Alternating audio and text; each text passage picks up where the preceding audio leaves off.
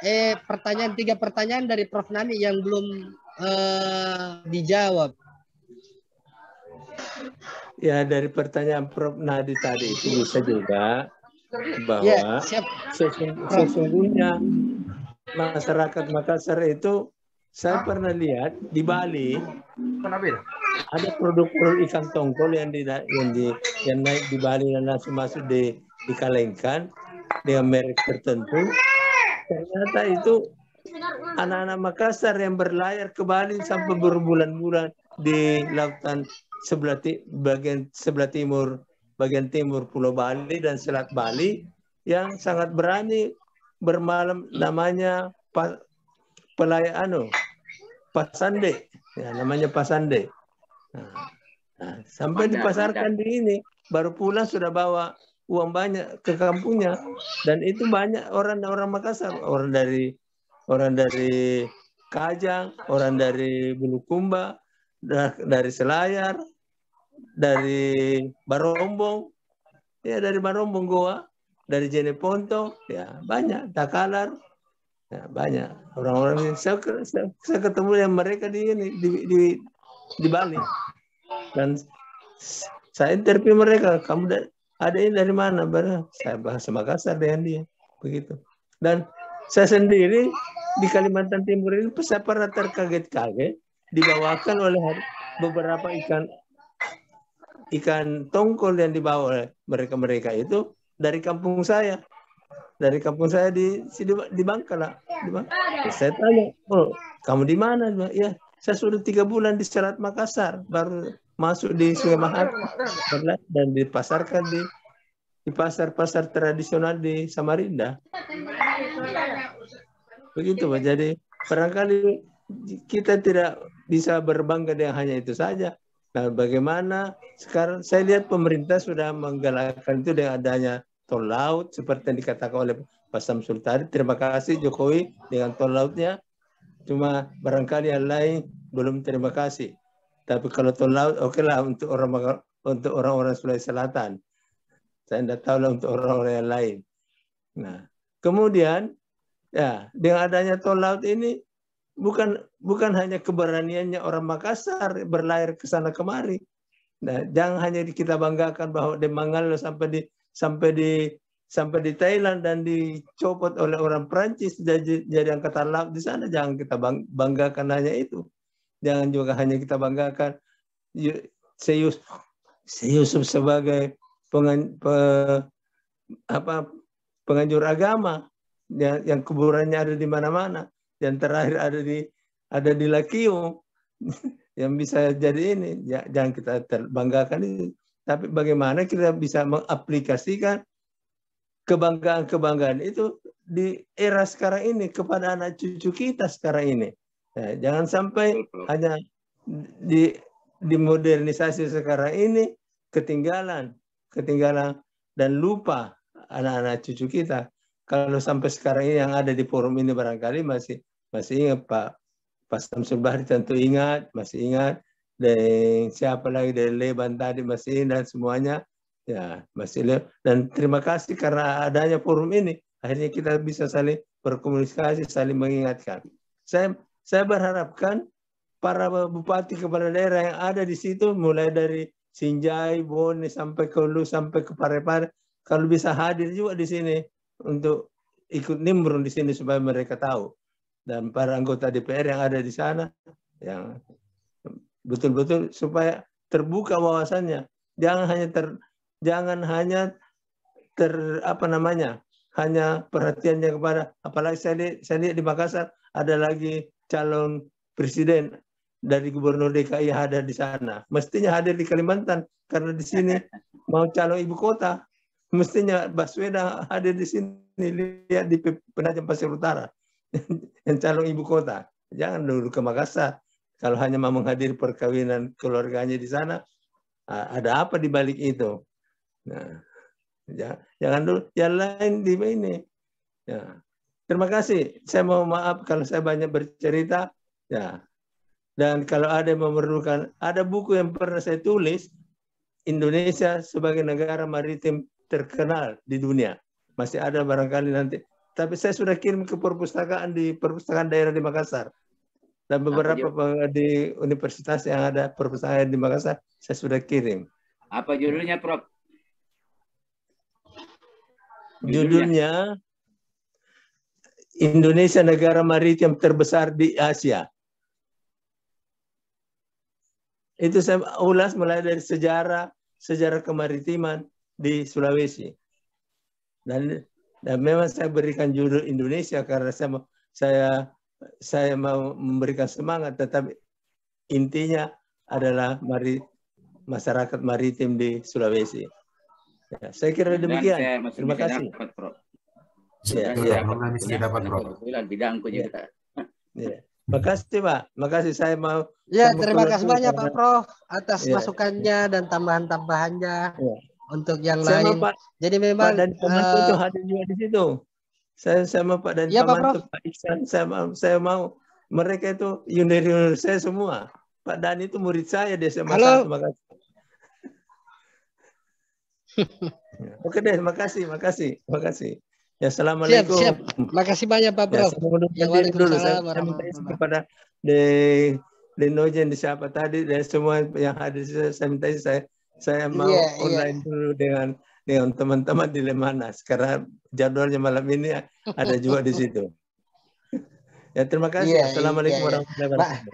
Ya, Waalaikumsalam warahmatullahi wabarakatuh. Makasih banyak Profesor Dr. Jafar Haruna atas partisipasinya ini malam di Makassar City ini tidak lupa kita juga sampaikan uh, kerajaan Guatalo ini agak sedikit fenomena di zamannya terhadap uh, kontribusinya di dalam kerajaan sebagai kerajaan maritim dan dia juga termasuk kerajaan agraria. Karena kalau kita dari MCH MCH yang kemarin yang episode-episodenya mengenai benteng-bentengnya, kerajaan gua itu membangun benteng-bentengnya dulu itu secara di dalam Sungai Jenek Berang.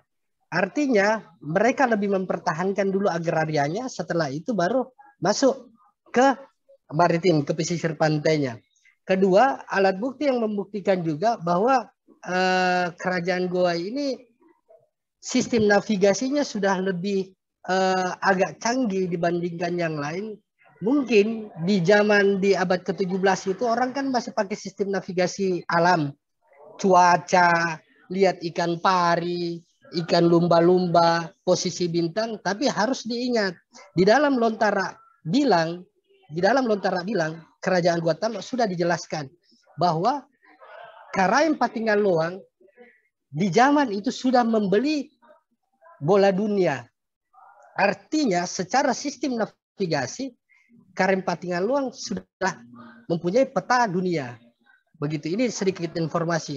Dan sedikit ditambahkan lagi yang poin ketiga, uh, kalau kita baca buku klasik uh, tentang uh, karya Samar Luka yang sampai ke Malaka tahun 1420 itu bukan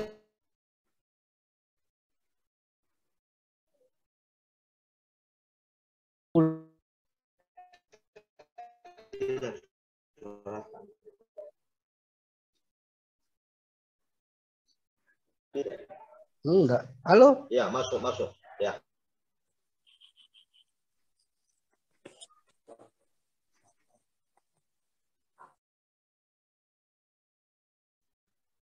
Ya, terima kasih. Assalamualaikum. Halo, Assalamualaikum. Terima kasih, Dendri Ujung. Yang pertama, saya ingin menyampaikan bahwa kerajaan Goa yang berbasis etnik suku Makassar besar karena perdagangannya di samping juga mampu uh, mengelola, mengelola sistem agraris termasuk buka empang pertanian tercatat dengan baik di manuskrip Lontara Patur Loang. Khusus perdagangan, maka Goa mengalami kegemilangan sehingga itu sangat mengusik VOC untuk mengambil alih perdagangan ini. Dan tidak ada satupun di Indonesia Timur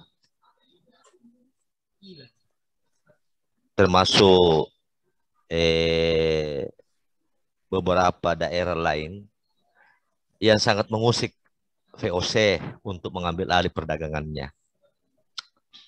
Semua ini yang dicapai oleh Goa tidak lepas dari pemicu perdagangan pada masa itu yakni sistem pelayaran dan kebaharian kebaharian itu. Ah, namun sangat miris sekarang ini dalam dua hal. Pertama, pencapaian orang-orang Makassar dahulu termarginalkan dalam kontes istilah. Sebagaimana contoh tadi Ibu dari Jogja, Ibu siapa namanya tadi? Ibu yang baik, Prof. Nani, mengidentifikasi Makassar itu dengan sebutan Bugis. Saya tidak a priori dengan saudara saya dengan Bugis, karena ibu saya orang Bugis. Cuma saya berharap Ibu Nani mampu mempopulerkan, membantu kami mempopulerkan bahwasanya orang Makassar itu ada dan beda dengan orang Bugis meskipun mereka bersaudara. Produk budaya kami beda. Kami memang bersaudara tapi yang namanya produk budaya tidak bersaudara. Kami berharap Ibu membantu di luar sana bahwasanya kerajaan Goa itu adalah etnik Makassar bukan etnik Bugis. Dan etnik Bugis ada juga produk budayanya yang sangat baik untuk jadi dipopulerkan. Nah ini, ini sekedar gambaran untuk menanggapi bahwasanya jangan sampai ada istilah eh, seperti ini minta maaf. Jeruk punya selayar, Bali punya nama. Nah ini Mudah-mudahan ini bukan pemicu untuk kita a priori dengan saudara saya orang Bugis karena ibu saya juga orang Bugis, tapi menempatkan secara proporsional yang mana produk orang Makassar, yang mana produk orang Bugis. Begitu. Kemudian yang saya ke moderator juga Dembeta, tolong saya diberi ya, eh, diberi penjelasan yang baik. Karena saya jadi ambigo soal istilah Jawa. Dikatakan menyederhanakan eh, dikatakan untuk penyebutan hal yang lebih sederhana disebut Jawa. Eh, ini Anda bisa jelaskan, saudara, jika Anda bisa memberi uraian apa bedanya ketika sebutan itu Jawanya di belakang dan apa bedanya ketika Jawa itu disebut di depan, misalnya Jawa Barus dan Pajala Jawa. Ah, ini sebutan Jawanya di belakang dan ada satu sebutan Jawanya di depan, diterangkan, menerangkan dan menerangkan, diterangkan hukum DM-nya. Saya kira itu. Saya kembalikan ke Denre Ujung dan terima kasih sudah memberi saya kesempatan dengan baik. Ah, terima kasih banyak.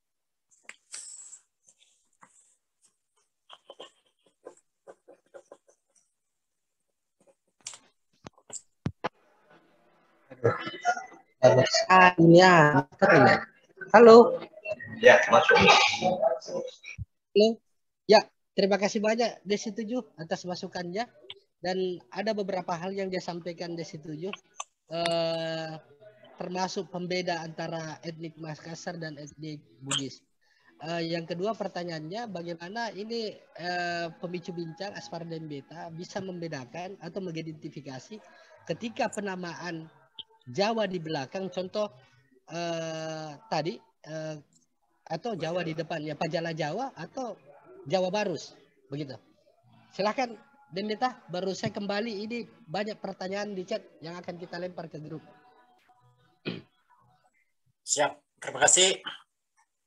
Untuk Jawa Barus, dulu Makassar kan sering menyebut orang-orang dari luar dari arah barat disebut Jawa, biarpun dari Jawa Sumatera ataupun arah ke selatan sedikit, Bali, Jawa Bali. Itu menunjukkan tempat. Untuk hal tadi pajala Jawa itu menunjukkan benda, benda. Dan sebelumnya kan sudah dijelaskan ada apa semacam kayak ada contoh-contoh pajala lompo dan pajala Jawa. Ada pajala besar, ada pajala kecil. Sama halnya kande Jawa. Kande Jawa ini kalau di dibahasakan secara sederhana kande biasa. Makanan biasa ya yang tidak mengandung kalori tinggi. Atau camilan lah camilan makanan ringan. Ini ini ini apa semacam kayak penamaan Jawa dari dalam bahasa Makassar. Mungkin itu Teta. Ya terima kasih Dembeta jadi menurut Dembeta ketika uh, penamaan nama Jawa di belakang ya. kayak Kandre Jawa bilang Kandre Jawa, Pajala Jawa itu menunjukkan uh, kata benda ketika uh, penamaan Jawa di depan, Jawa Jadi, Baru. terima Jawa kasih Dembeta. Sudah saya terima dengan baik penjelasannya dan logis. Kita kembalikan ke Dendri Ujung. Kebetulan Dendri Ujung lagi hilang suaranya kayaknya. Aduh. Ya. Jadi begitu uh, penjelasan dari dari Dembeta uh, situ juga kalau uh, nama Jawa di belakang itu menunjukkan uh, tempat eh, benda Kandre Jawa, Pajala Jawa. Tapi kalau dia di depan itu lebih menunjukkan kepada tempat lokasi orang di luar. Jadi orang Makassar menyebut orang di luar Makassar itu dia sebut Jawa. Jawa Bali itu dari luar. Jawa Barus itu dari luar juga dari Sumatera. Jadi seluruh yang namanya pandai Jawa Pandai Jawa benda. Jawa Bali, Jawa Baru nama tempat. Terus ada juga ini saya lihat uh, saya mau sapa Pak Kajari dari Deli Serdang. Dokter Jabal Nur. Malam Pak Kajari. Siapa tahu ada tanggapan Pak Kajari ini malam di Makassar City Heritage tentang kapal-kapal kerajaan Makassar. Oh ya, terima kasih. Assalamualaikum warahmatullahi wabarakatuh. Waalaikumsalam warahmatullahi wabarakatuh. Terima kasih Pak eh, Deng Deng Gajang ya. Dan dan Dan Rujung memberikan kesempatan ke saya. Saya cuma menitip ke saudara-saudara saya yang ada di sini supaya bisa mengembangkan sejarah-sejarah kita yang terdahulu supaya uh, anak-anak cucu kita itu bisa terbekali dengan budaya-budaya yang sudah uh, hampir punah sehingga sejarawan kita itu supaya meletakkan sejarah-sejarah yang terdahulu dapat dikaji kembali dan menjadi dapat di apa tuh di dibukukan dengan baik sehingga uh, bisa mewariskan kepada anak cucu kita uh, di kemudian hari. Uh, yang pertama termasuk adat-adat budaya kita. Nah, terus dari segi bahan seperti yang dibahas Prof tadi itu om saya Pak Japar Haruna kita itu eh, bagaimana lingkungan-lingkungan itu agar dilestarikan dengan sehingga bahan baku-baku dari bahan baku dari perahu itu dapat dilestarikan. Jadi walaupun uh, apa banyak banyak uh, yang diciptakan pelaut, tapi untuk uh, bahan baku untuk menjadi perahunya yang tidak ada. Nah, seperti sekarang sudah di ada sejarawan yang tadi dari Jawa. Asalnya dari Makassar, tapi sudah diproduksi lebih besar malah lebih besar di daerah Jawa. Ini kan sumber daya manusia kita yang tidak terlalu dimaksimalkan uh, dan dioptimalkan.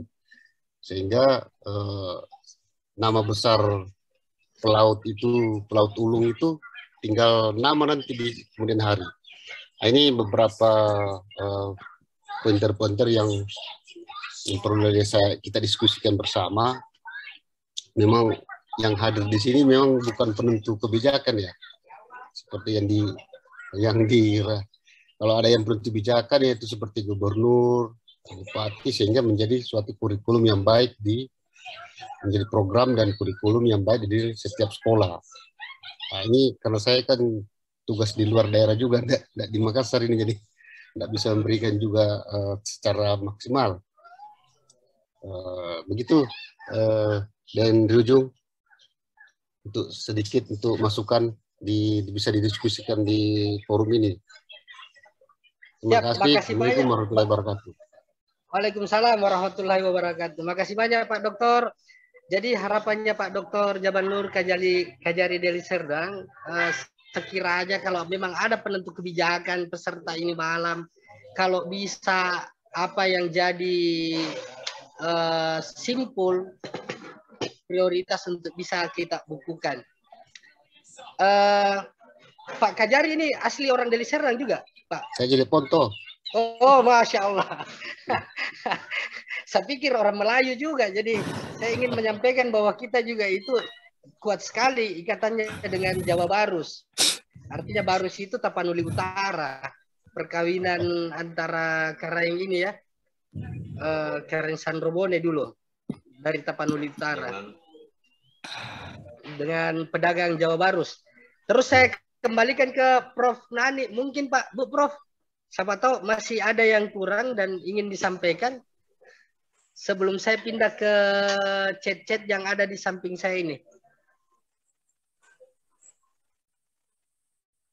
Uh, cukup, cukup yang mulia.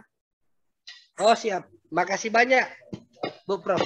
Nah, ini ada pertanyaan yang harus kita bisa jawab bersama.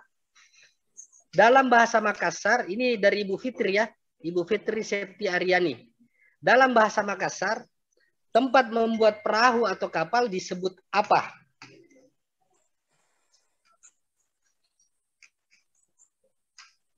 Mungkin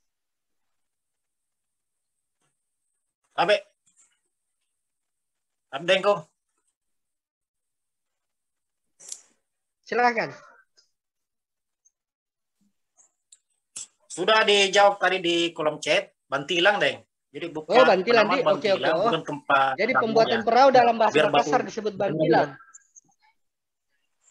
Biar batu merah juga banyak di Baje sama Bentu Nompo. Hmm, oke oke. Kalau bantilan ya. Ini juga sudah dijawab apakah penamaan Panjala Jawa ini satu konotasi dengan penamaan Pangajavas virus.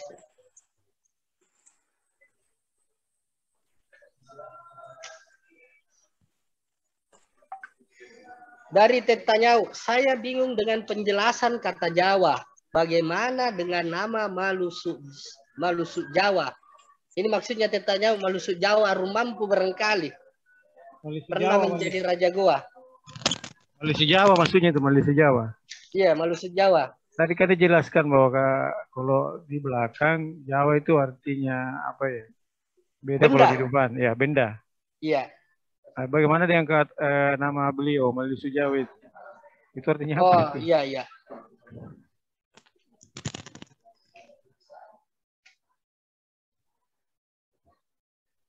Dan beta bisa kita ini kita ini ini kalau dia Malusu Jawa Malusu Jawa artinya apa ya? Malusu Jawa. Malusu Jawa. Ini, Deng, apa? Apa ya, kayak di kepala ini yang seperti apa ya? Kondisi Jawa mana? Pus kayak pusar ya. Pusaran, pusaran, pusaran. Kondisi Jawa berarti kan kalau diartikan berarti uh, pusarnya kecil di kepalanya. Kondisi Jawa. Oh, ah, ini ya, yang di kepala ya biasa ya. Tanpa lisu. Tanpa lisu. Tanpa lisu. Begitu. Oh, kebetulan ada juga ini Pak Mansur Amin. Denta Sunda Kelapa. Siapa tahu bisa menanggapi yang lain atau ada masukan yang ingin disampaikan di Makassar City Heritage? Terima kasih Deng, saya menikmati dulu nih. Menikmati dulu saya. Yeah. Lagi minum kopi nih Mansur. Lagi makan tempe mendoan. Iya, yeah, saya lihat juga ini kebetulan ada di kepala lo, siapa tahu masih mau memberikan masukan juga tambahan. Halo, Depala lo.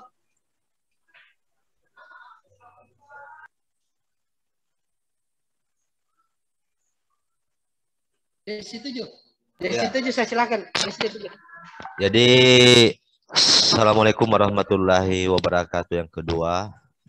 Saya kembali menyapa ke Dr. Jabal Nur Kejari eh, di Deli Serdang. Kalau melihat Bapak dengan perawakannya, saya teringat dengan sahabat saya yang juga sangat aktif eh, dan sangat antusias eh, tentang sejarah. Dan saya berpoesi dengan Bapak, Pak Firdaus De Wilmar.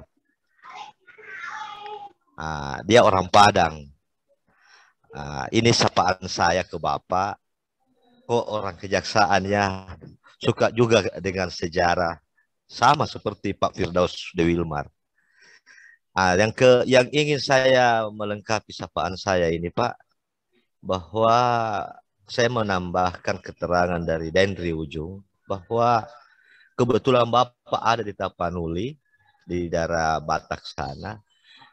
Orang Makassar itu dulu karena pergaulan perdagangan kapur barusnya sehingga terjadi kawin mengawini antara orang dari Makassar, Goa dan orang dari dan Sandrobone dan dari orang Barus.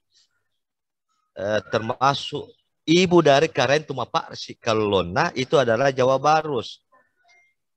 Eh, Tony Tony Kap para Bosarana juga ibunya kalau saya salah istrinya kah yang juga berasal dari Barus. Ini kembali saya sampaikan karena pemicu daripada sebuah perdagangan yang besar di masa lalu adalah sistem kemaritiman yang sudah nyaris punah eh, sebagai identitas orang Sulawesi Selatan.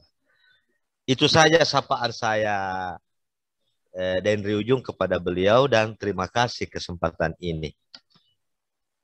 Ya, terima kasih Desi Tujuh atas sapaannya kepada Dr. Jabal Nur. Jadi ini malam memang sangat memperkaya, memperkerucut lagi, memberikan informasi apa yang ada uh, dari zaman-zaman dulu yang bisa kita trans literasi ke zaman sekarang, terutama kepada anak-anak generasi berikutnya.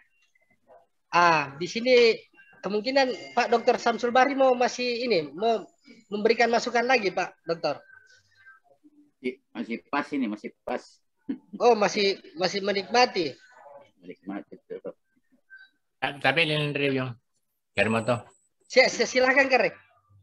Kare ya. Ya Kare. Iya, makasih banyak. Yang ujung atau Karimbondo ya, atas kesempatannya. Assalamualaikum warahmatullahi wabarakatuh. Yang saya hormati Bapak-bapak dan Ibu-ibu yang tidak sempat saya sebut satu persatu. Eh, terus saya lihat ada yang mulia Prof. Nani dari Forum Silaturahmi Keraton Nusantara yang kebetulan ini beliau eh, apa namanya sekjen daripada suatu organisasi keraton. Dan mungkin tentang tradisi atau sejarah-sejarah ini beliau banyak tahu juga. Eh, saya saya dalam kesempatan ini barangkali saya karena saya minta maaf karena saya tidak apa, tidak dari awal mengikutinya karena saya agak terlambat. Saya tiba tadi dari lu juga baru jam 8 pas jam 8 jadi baru agak lambat mungkin ada hampir satu jam tadi terlambat. Jadi saya tidak mendengar tadi penjelasan tentang jenis-jenis perahu. Dan saya mau tanyakan di sini saya pernah membaca bahwa seperti Karim Bonto itu pernah membawa ratusan perahu armadanya ke timur.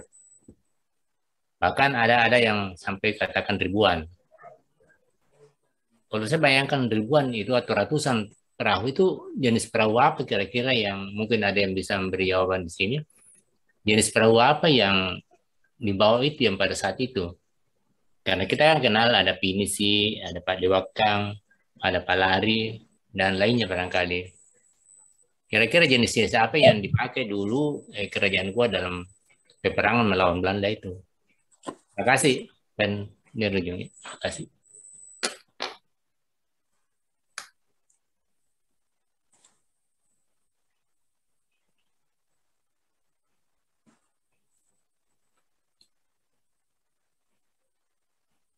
Ya mungkin Demita bisa atau yang lain mungkin ada masukan apa namanya bukan masukan. Ya, betul.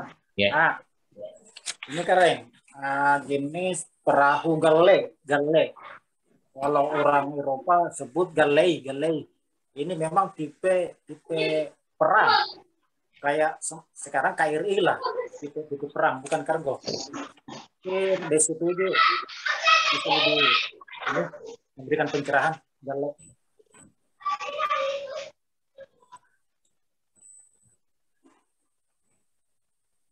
Ya, Demeta. Halo. Siap. Ya, Oh, su- sudah dijelaskan ke ini ke Karen Sandromon ya?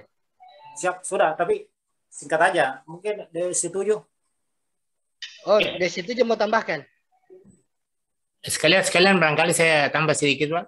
Ya, ya, Ya. silakan Karen. Itu kira-kira besarannya itu kapal. Jadi apakah sebesar pinisi atau sebesar semacam padewakan kan padewakan lebih kecil. Ini gale ini apakah di dia menengah atau bagaimana besarnya itu karena bayangkan kalau kita 100 200 kapal itu weh, penuh kelihatan di misalnya di pelabuhan begitu. Ya, mungkin data di situ mungkin ada. Iya. Ya, Dari jadi ini yang dipakai Bonto Marano, Karen Bonto Marano. Kalau saya tidak salah ingat, mungkin bisa dikoreksi di Palalu karena ada di sini. Kurang lebih muatannya 15 orang saja itu dalam satu kapal itu. Kurang lebih. Karena ini juga pernah dipakai oleh sebelumnya oleh Karaeng Samerluka, Samerliukang ketika dia ke eh, Malaka sampai bertemu dengan Hang Tua. Nah, ini tidak tercatat di Goa di catatan lontar rapat perloan, tapi tercatat di malah tercatat hanya di Malaka. Jadi itu saja saya beri gambaran Kareng. Ya, Tabe. iya, eh, saya tambahkan. Halo. Ya, silakan dengan Jang. Iya, eh, jadi tadi Karen Jengka, Karen Sanromone ini ini ada ada catatan sejarah eh, yang ditulis oleh Laside dan Tapala eh, tentang eh, kapal perang Kesultanan Goa itu rata-rata ukuran ukuran rata-rata ukuran kapal perang Kesultanan Goa memiliki panjang 17,5 meter dengan lebar lambung 3 sampai 5 meter. Beberapa di antaranya digunakan laksamana lebih eh, lebih besar dengan panjang 35 meter dan bersusun 3 sampai 4 tingkat dengan jumlah pendayung antara 200 sampai 300 orang.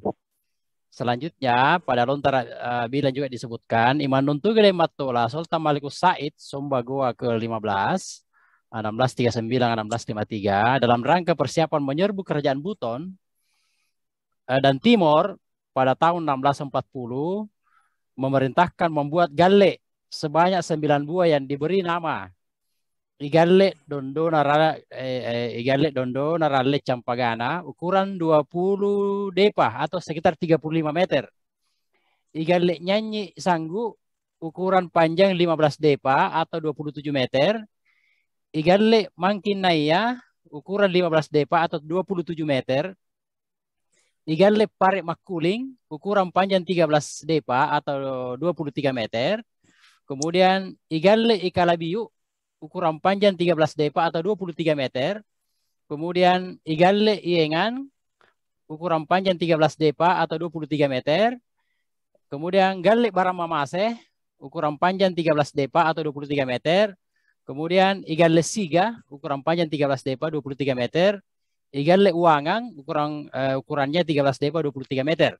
Jadi rata-rata 23 meter ini eh, panjangnya eh, kapal perang kerajaan Goa ketika eh, melakukan memper, apa, memperluas eh, wilayah pengaruhnya ya ke wilayah-wilayah lain. Nah, kebesaran nama kapal perang Kesultanan Goa ini tercatat dalam setiap pertempuran eh, laut melawan VOC dan sekutunya.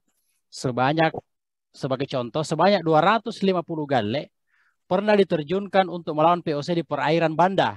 Nah, ini perairan ini perang di timur sana nih. Eh, pada tahun 1666 sebanyak 600 kapal perang melawan 450 kapal perang POC di perairan Pulau Butung. Nah, inilah jadi eh, kapal perang memang pada waktu itu umumnya menggunakan galek dengan berbagai ukuran antara 23 meter sampai 27 meter. Yang terbesar yang dipakai oleh Laksamana Laksamana ini panglima perang ya, ya Karim Bontowarando salah satunya itu yang paling besar yaitu 35 meter dengan pendayung antara uh, itu tadi ya sekitar uh, berapa orang tadi itu dua uh, ratusan ya. Nah itu itu deskripsi dari ukuran-ukuran uh, dari kapal perang kerajaan Guatarlo pada saat masa jayanya melakukan perluasan pengaruh di berbagai pulau di Nusantara ini. Begitu Karen Jengka, terima kasih. Iya, makasih banyak. Iya. Jadi des deskripsinya sudah panjang lebar dan Gajang sampaikan mungkin ada kurang ataupun ada yang ingin menambahkan tapi inilah wawasan yang ada Tapi dong, untuk mau menambahkan lagi sedikit. Ya. Tapi mau menambahkan tentang Karen Ponto Marano. Oh, silakan Demeta. Siap. Di Kabupaten Bima sendiri ada tempat menyusun rencana Karen Marano sama petinggi orang sana di Kecamatan Bima. Di sana ada dusun bernama Dusun Bontorano, Kecamatan Bolo, Kabupaten Bima. Nah, ini sangat anu ini, sangat mirip ini ada juga kampung di Takalat namanya Bolo. Terus di bibir pantai Kota Bima, di Kota Bima ada namanya pantai Pantai Bonto. Kemungkinan besar sandarnya di sini di Pantai Bonto di Kota Madia Bina Bima sebelum ke dusun Bolo dusun Bonto Merandu Kecamatan Bolo ada dua kampung di sana nama yang bernuansa Makassar Tabe. Terima kasih Dembeta. Mungkin ini ada Depalalo. Depalalo saya persilahkan untuk menambahkan, memperkaya wawasan kita ini malam. Halo Depalalo. Ya, terima kasih. Dan Rujung. Sabe. Silakan, Uh, silakan. Assalamualaikum warahmatullahi wabarakatuh. Eh, mohon maaf ini agak apa baru sempat bergabung tadi ada lagi di perjalanan. Eh, untuk apa ya? Eh, apa tadi pertanyaannya terkait dengan perang apa kapal perang yang digunakan oleh ke- kerajaan Goa ya? Ya, Kalau ya, tidak salah ya. Ya.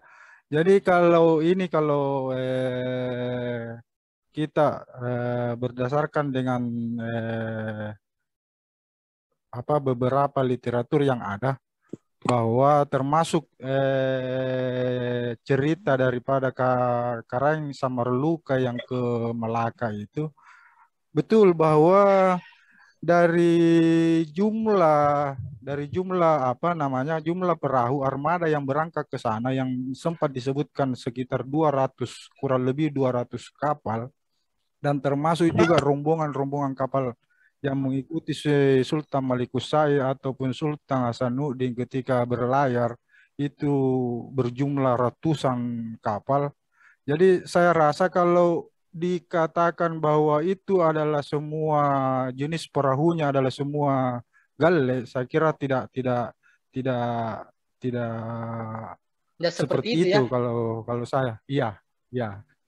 Eh, kalau saya lebih tepatnya kalau karena ini juga memang tidak ada dasarnya kita, tidak ada catatan yang yang sangat spesifik yang menunjuk eh, jenis kapal yang digunakan, apa kapal perang yang digunakan. Tapi kalau saya analisa apa eh, analisa saya bahwa kalau kita mau anu kap jenisnya itu sepertinya model perahu binta lebih lebih cenderung ke kalau saya lebih cenderung ke model apa ke jenis perahu binta ataupun bisa jadi jenis padewakan yang digunakan oleh eh, apa namanya Raja. ini pe- pencari-pencari teripang pencari teripang yang ke Marege sana jadi kedua jenis kapal ini yakni perahu binta ataupun padewakan yang kemungkinan besar yang disu- yang digunakan oleh eh, ar- apa laskar laskar kerajaan Goa Tallo ketika dalam eh,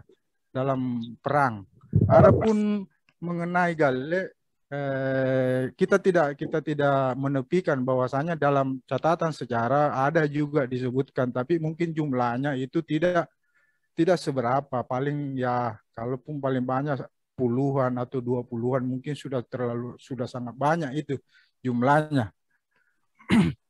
Eh, dan Galle sendiri ini baru dibuat oleh orang Makassar di masa Sultan eh, Abdullah ini yang saya pikir yang harus yang harus kita pahami bahwa perahu Galle itu orang Makassar membuat perahu Galle baru di zaman eh, Sultan Abdullah ya, atau Karaim Matwaya.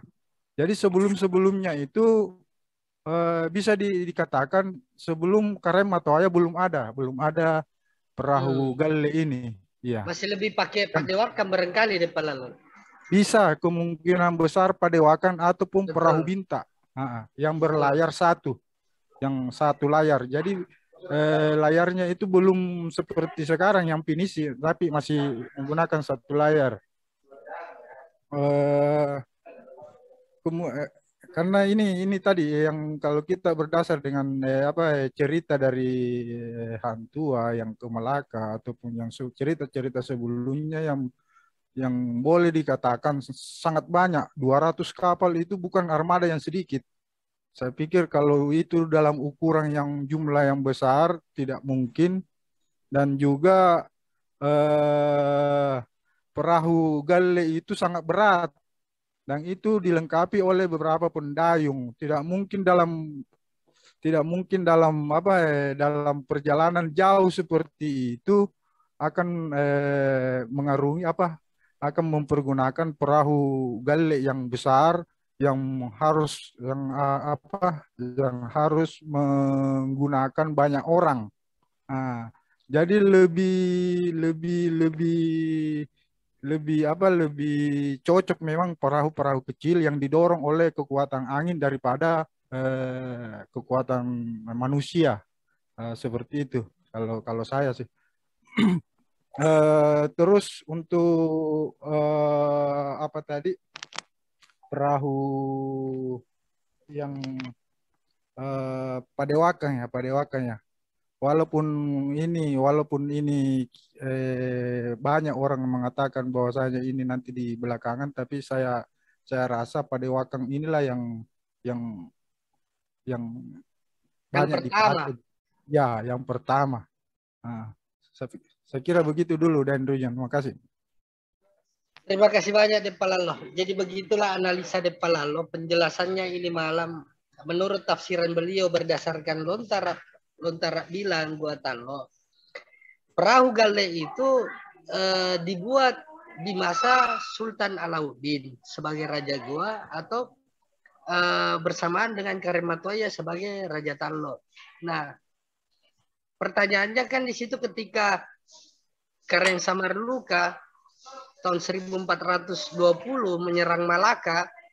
Ini bukan kita yang catat loh, tapi yang menulis ini eh, manuskrip klasik dari Malaka Tun Sri Lanang. Terus disadur ulang oleh Francois Valentin tahun 1712-1724. Nah, besar kemungkinan yang dipakai dengan memang perahu-perahu yang bertenaga angin kalau jarak jaraknya agak jauh begitu. Siapa tahu ada yang mau tambahkan Aspar, Aspar dan Deta? Ada juga ini Pak Akbar Amri dulu.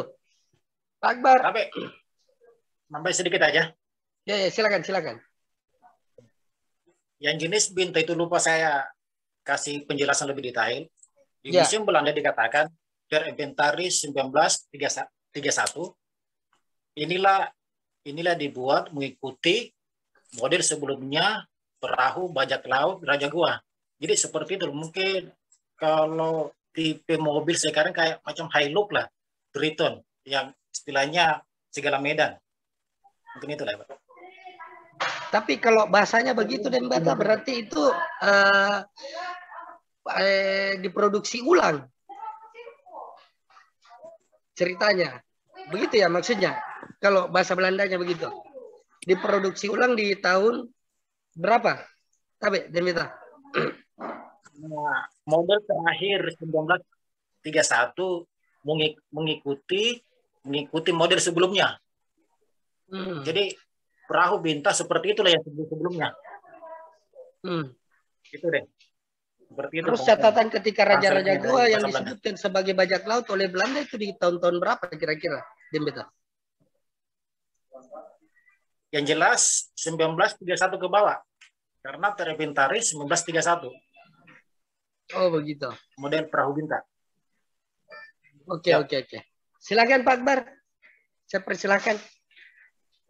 Iya, terima kasih Den Ryujung. Ya. Eh, Assalamualaikum warahmatullahi wabarakatuh. Eh, tapi eh, saya di sini mau bertanya eh, berkaitan dengan perahu ini, mungkin agak jauh juga sedikit dari ini konteks yang kita bahas, dibahas malam ini tentang bagaimana orang-orang dulu itu eh, melihat arah, melihat arah untuk eh, tujuan yang ingin didatangi atau dikunjungi. Yang kedua, eh, di sini di Lontara bilang mengatakan eh, tahun 1632 nama Mise Karaenga Mantama Rito Raja. Apakah perahu apa yang digunakan untuk eh, menuju ke Toraja? Kalau saya lihat di sekarang ini mungkin ada perubahan beberapa ratus tahun yang lalu. Itu jalurnya itu jalur-jalur kalau disusur dari sungai itu agak susah karena melawan arus. Eh, ini yang saya tanyakan di sini perahu apa atau kapal jenis apa yang dipakai pertama Karaenga. Mungkin itu saja dari Ujung 2. Terima kasih. Oke, makasih Pak Akbar. Tapi di Toraja ini, bagaimana caranya ke Toraja ini? Kayaknya tidak ada ini. Mau lewat laut, mau Eh. lewat apa? Siapa tahu ada jalur lain. Halo? Kalau di sungai mungkin ya, kalau di sungai mungkin saya lihat enggak ada. Kalau di Iya. sungai. Karena di- di- dibilang di sini nama Mise Karaenga Mantama Rito Raja. Iya, tapi tidak disebutkan di situ dia naik perahu atau naik kuda. Tidak. Mise saja. Iya. Jadi bagaimana kira-kira itu di kepala lo? Sedikit. Halo? Ya, silakan Pak Samsul Bari. Ya, ya. Sedikit saya kira eh, terkait dengan eh, tidak ada sungai di eh, tidak ada eh, laut di Toraja. Eh, jadi saya kira bukti-bukti bahwa di sana juga eh, pernah ada perahu. Model rumah orang Toraja itu dasarnya diambil dari perahu.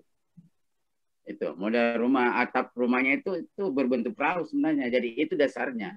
Jadi eh, yakin bahwa eh, di sana juga terlibat orang-orang Toraja. Apalagi kan orang Toraja itu eh, nenek moyang kita orang Sulawesi Selatan. Ya itu yang yang pertama. Yang yang kedua tadi itu masalah apa yang dia katakan tadi apa tadi eh, pertanyaannya itu masalah eh, tanda-tanda alam bagaimana eh, mencapai menempuh satu daerah tanpa melihat tanpa ada kompas. Di sana banyak jadi orang nelayan itu banyak tanda-tanda. Pertama kalau malam hari itu melihat bintang, yang kedua kalau dia dia siang hari itu melihat gunung.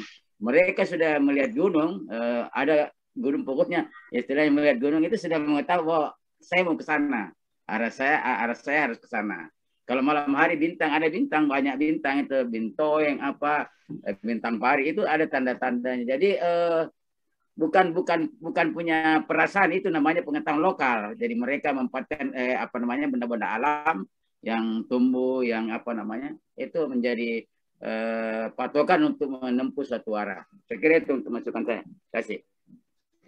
Ya, Dan kalau ada saya dari ujung ya silakan silakan. Saya setuju. setuju. Iya. eh, Pak Samsul yang saya hormati, mohon maaf kalau saya agak beda dalam menanggapi. Justru saya ingin menanggapi kita. Yang pertama soal orang Toraja nenek moyang orang Makassar, kita tidak sependapat dari Batang. Karena belum ada literasi tertulis yang mengatakan itu secara valid. Yang kedua soal memise yang disampaikan oleh Pak Akbar. Memise memang dia naik perahu. Terus dia ambil pendaratan, kemudian dilanjutkan dengan darat. Tidak dijelaskan, tetap berpikir sampai di mana dia mendarat, karena tidak mungkin perahu digunakan untuk menempuh jalur darat di masa itu ketika ada penjelasan memise. Nah, itu. Nah, terus ketika orang Toraja simpul apa petongkok balak atau tutup rumahnya berbentuk perahu betul itu. Tapi itulah kisah kedatangan mereka beberapa ratus tahun barangkali masa lampau terus membuat model per, kap, kap, kap, rumah perahu terbalik. Nah, kita tidak dalam hal ini kita tidak menapik eh, jiwa kepelautan mereka di masa lampau sehingga tiba di Makassar. Nah, itu termonumentalkan dengan model cape-nya, cape rumahnya. Nah, tapi kalau soal genetika, belum ada penelitian barangkali yang mengetes secara genetik. Yang ada hanya cerita mitos yang tidak tertulis. Paling juga laki pada ada soal laki pada ada dengan Karembayo dianggap bersaudara. Tapi kan itu rajanya yang bersaudara bukan masyarakatnya. Nah, itu juga masih perlu penelitian karena manuskripnya tidak ada yang menjelaskan. Saya minta maaf pada seri batangku Pak Samsul dengan beda ini. Di pengopor nggak ya, tabe. Terima kasih banyak di situ juga masukannya. Jadi begitu di. Jadi kemungkinan juga belum belum tentu uh, tidak ada data yang valid yang menunjukkan bahwa orang Sulawesi Selatan itu bahwa leluhurnya dari Toraja. Karena uh, tidak ada hasil genetik yang bisa membuktikan. Itu yang pertama. Yang kedua, itu pun paling cerita tutur saja.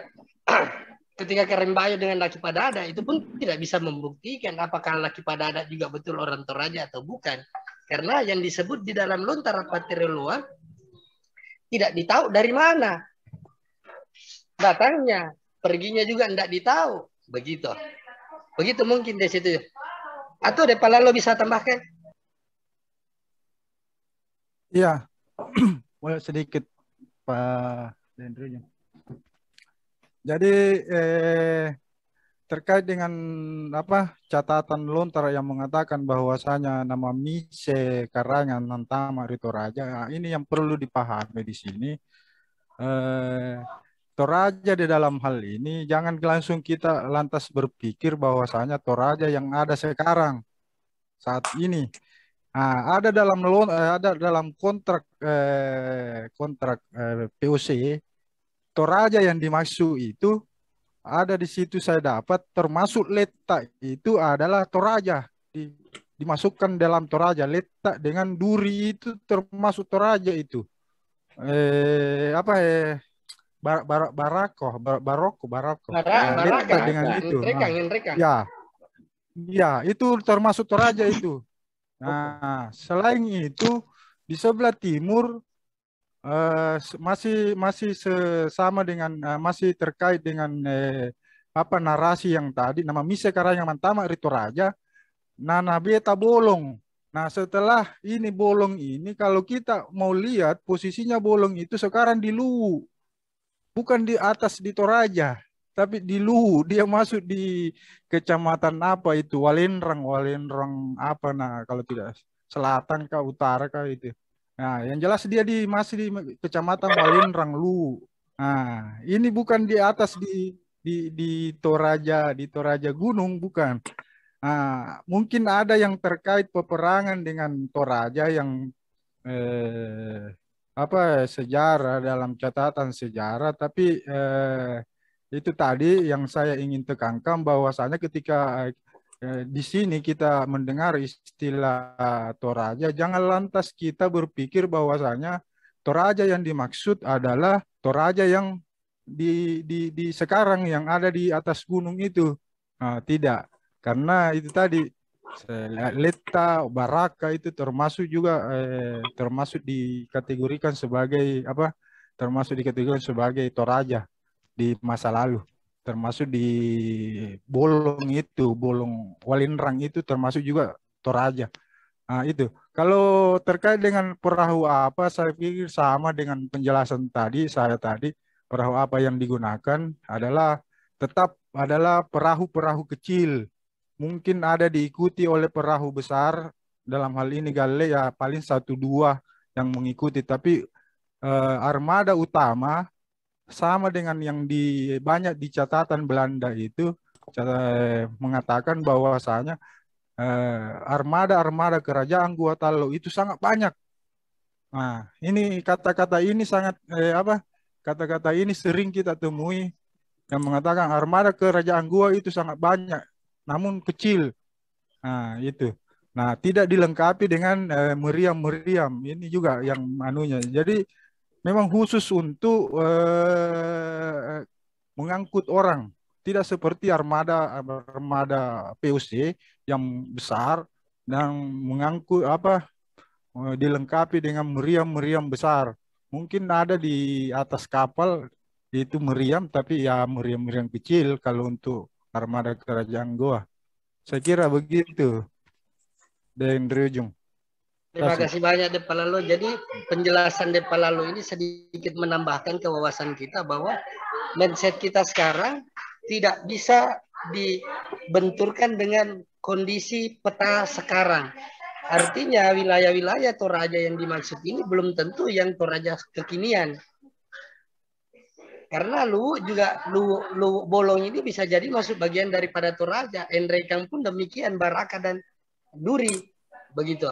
Jadi uh, harapannya uh, Depalalo dari uh, masukannya tadi bahwa ketika kita bicara sejarah masa lalu, tolong jangan dikotak-kotakkan dulu seperti peta yang sekarang. Begitu. Nah, kayaknya ini dan Cahyadi uh, ada Ya, Biar silakan Pak Ya, ya. Ini sama halnya juga ini di Goa. Dulu kan Galeso sama Pulau Bangke masuk Goa. Sekarang tak kalah. Ya, betul. Nah, sama yang termutahir tahun 1973. Pantai Barombong ini masuk gua. Sekarang masuk Utama dia Makassar. Mungkin seperti itulah. Oh iya, oke oke. Cocok dan beta. Dan Saya persilahkan Pak Dian Cahyadi. Ya, ya. Pak Dian.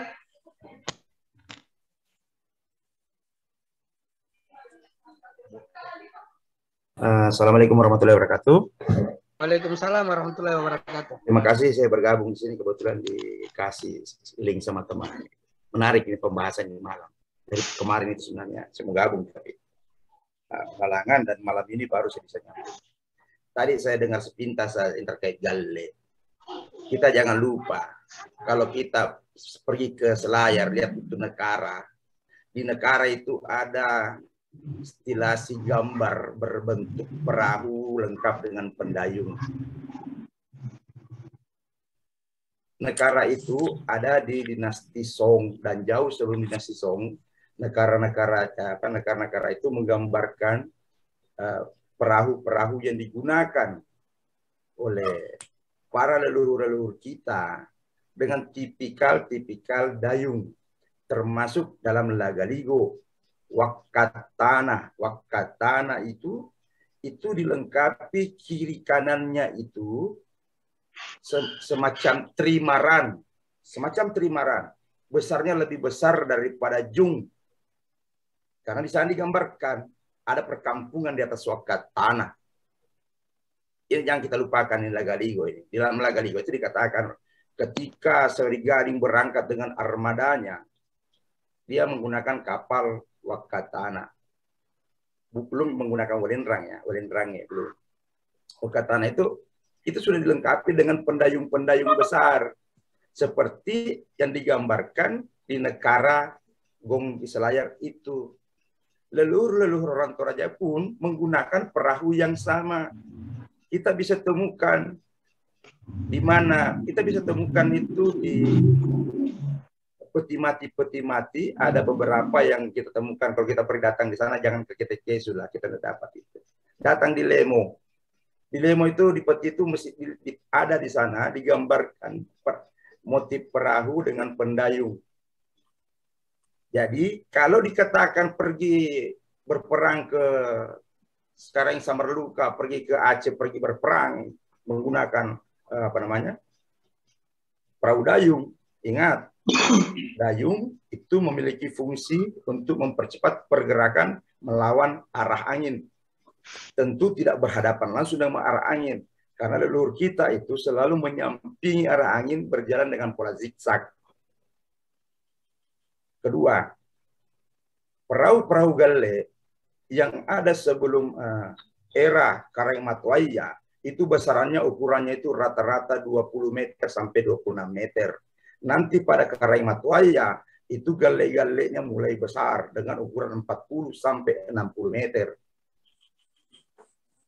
Ketika dia pergi, kalau kalau kita mau tarik ke 1400 sekarang sama Luka, tentu dia menggunakan galle juga.